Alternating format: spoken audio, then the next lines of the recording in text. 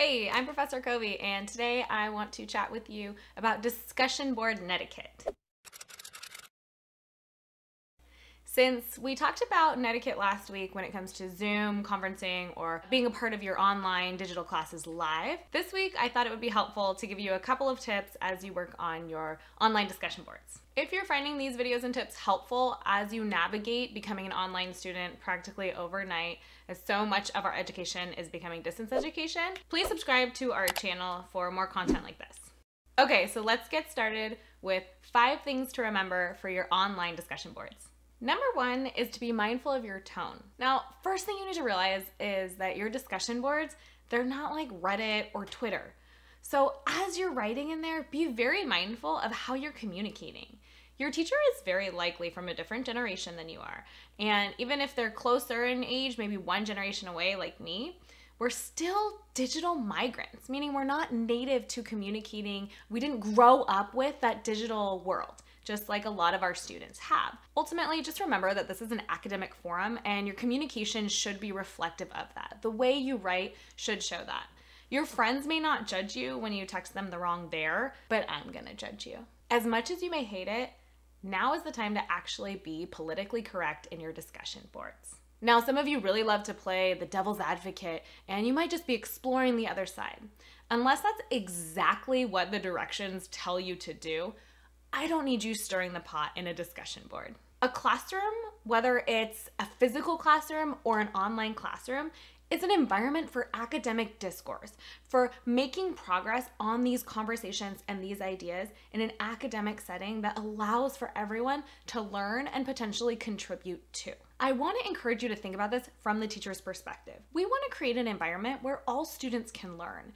And if someone is coming in with an aggressive tone or attacking another person, it's really hard to learn. If you're in that fight or flight moment, if you feel like you're being attacked or someone is coming off incredibly strong and opinionated, then it's really hard to open up, relax, and actually learn something. So, as a teacher, I really prefer if students are mindful of how they're communicating. It can be easy to come off as aggressive when you're just maybe curious. So, there are a couple things you can do to actually check your tone and see if it'll be able to come off as something for an academic conversation in the discussion board. First, I actually recommend reading it out loud. Read what you have drafted up or have someone else read it. See how the tone sounds when aloud then also try to give it a read with a little bit of a sassy or kind of pissed off attitude, just a little bit to see if it could actually be interpreted that way. You can also take a look at some of the specific word choices or the way you phrased some of your comments. For instance, if you have written, the author would never say that in response to a discussion board prompt, you can see how that's very limiting. That's very black and white thinking to say they would never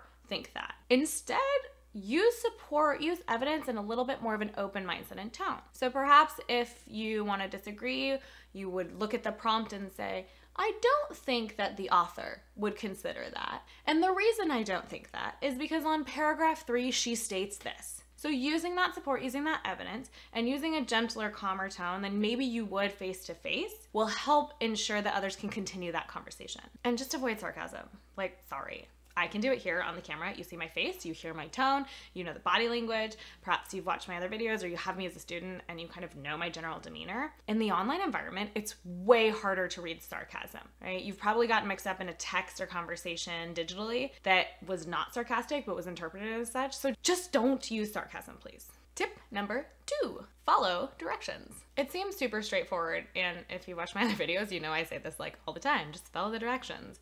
I always encourage you to print it out, print out the discussion board directions, or copy paste them into another document or handwrite them with your really pretty glitter pens. Whatever you're doing to transfer the directions to somewhere else than where they're actually typed on the computer is gonna help you to make sure you're hitting all of the points. For my discussion boards, I have no more than one a week in my classes. However, there are a lot of moving parts. There are often required readings, prep, and questions that students need to first respond to in order to get the discussion going. So it's important to make sure you're following each step to maximize the points you're gonna get. Tip number three is another duh. It's avoid procrastination. I really encourage you to look at the deadlines and try to schedule your life, your work, your home, your other classes so that you can finish the work for each class ahead of the deadlines. If you're just rushing to finish it, you're not going to have time to check your tone, to proofread, etc. Also, one of the things about online classes that isn't as common when you turn things into a physical class is we can see the exact moment you finished. As a teacher,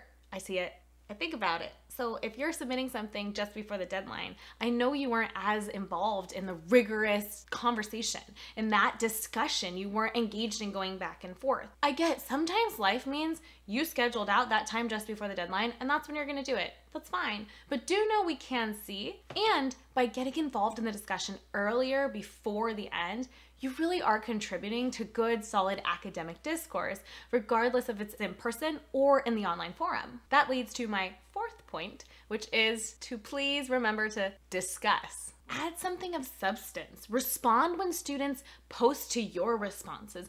Get in there, get engaged. Think about the physical classroom environment. If you've had a really solid discussion, whether it's with the teacher at the front, if it's in the midst of lecture, and something organic really happens that everyone's enjoying talking about, or you've done a formal Socratic seminar, those conversations, those discussions in a classroom environment that are really engaging, that really have people buying into them, those move so much faster. Those are much more enriching than people who are responding with very rote or kind of fluff responses of, yes, I agree, thank you for a great post. What value is that? That's not real conversation. That you might as well just have like a sticker, good job. Okay, my fifth tip may seem a little odd for a discussion board, but I highly recommend you proofread. By spending a little bit of extra time at the very end, you can go through and make sure it doesn't sound like a giant rant, right? This is how you make sure you're not some random Reddit thread in your academic discussion board. If it's too long or too short, if it's too personal or too vague, this is the opportunity to check yourself. Perhaps consider composing in a different place. So maybe open a Google Doc and put the directions in there and then type your response there. So you're not tempted to immediately submit if you're typing right in the submission box. And it'll give you a little extra time to review, check your tone, follow all the other tips I've given, and then you can copy and paste it in before you submit. I wanna add one more thing before I sign off and that is to consider being innovative. If you have a teacher who's fun or a subject that's pretty open, consider adding some really fun graphics, text, links, or a TED Talk, anything relevant that might help continue to engage your classmates. As a teacher in my English classes, I really like when students will add an appropriate image or further information than was just asked for in the discussion prompt. Because then it keeps the other students interested and it allows the others to get some more information than from just me. Now remember, you're not an expert, so you're not trying to teach anything. I'm not telling you to be the educator in these.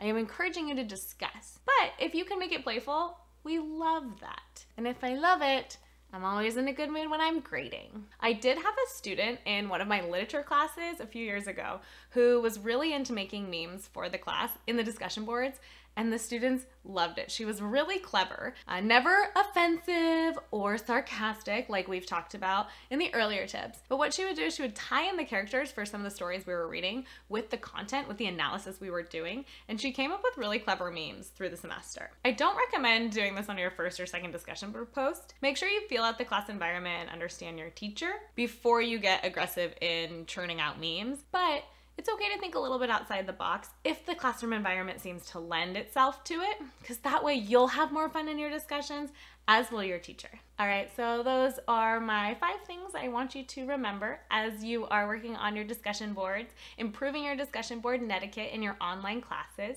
Be kind to yourself and others, not just in the discussion board. If you find this video helpful and want some more content like it, go ahead and subscribe to our channel, and regardless, smash the like button for me. Take care.